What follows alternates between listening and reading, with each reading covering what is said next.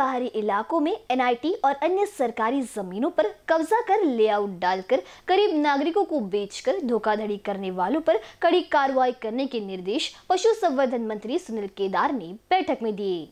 जिलाधिकारी कार्यालय में इस संदर्भ में हुई बैठक में जिलाधिकारी विमलार मनपा आयुक्त Radhakrishna B, NIT chairman Manoj Suryavanshi, अतिरिक्त आयुक्त अविनाश कातड़े, निवासी उप जिलाधिकारी जगदीश कातकर व अन्य अधिकारी उपस्थित थे। भूमाफियों की धोखाधड़ी से पीड़ित नागरिक भी उपस्थित थे। केदार ने कहा कि किसी भी हालत में गरीबों का नुकसान नहीं होने देंगे। इस संदर्भ में रास्ता निकालने का निर्देश अधिकारियों को दिया।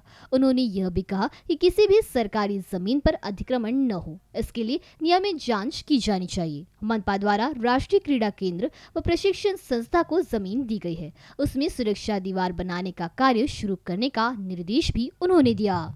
कैमरा पर्सन राजकुमार मोड़ के साथ दिशा हटवार बीसीएन न्यूज़ नागपुर।